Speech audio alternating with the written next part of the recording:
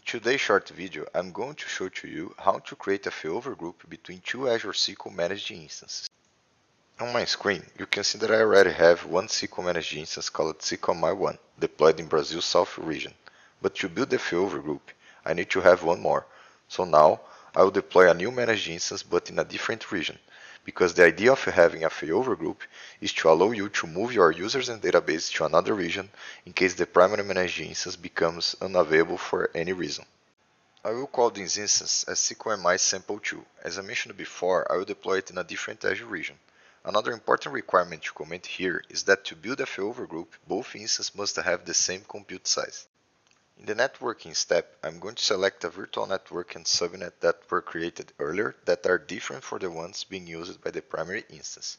This way, we avoid an IP address range overlap between them. In the additional settings step, we need to ensure that this new instance have the same collation and use the same time zone of our primary instance. Also, we need to flag this new instance as a failover instance and point what is our primary one.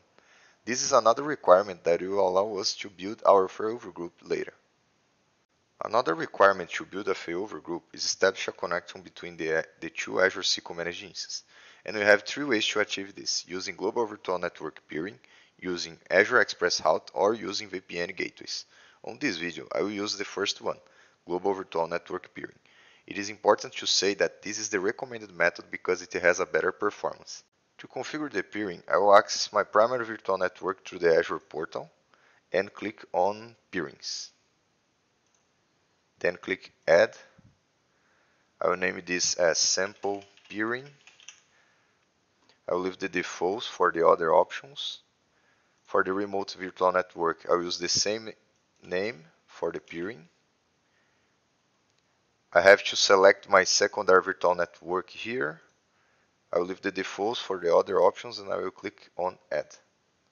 We can see here that the peering was done and the connection was established successfully between the two Azure SQL managed instances. Now I'm ready to configure the failover group between the instances. To do that, using the Azure portal, I will access the primary instance and click on failover groups.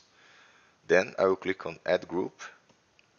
I will name it this failover group as sample failover group I will choose the secondary instance.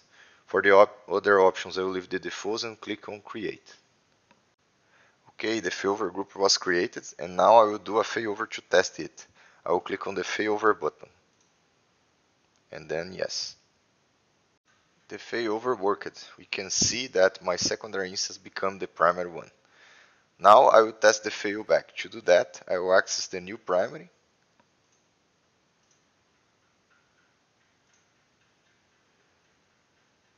I'll click on failover groups then I'll click on failover and yes.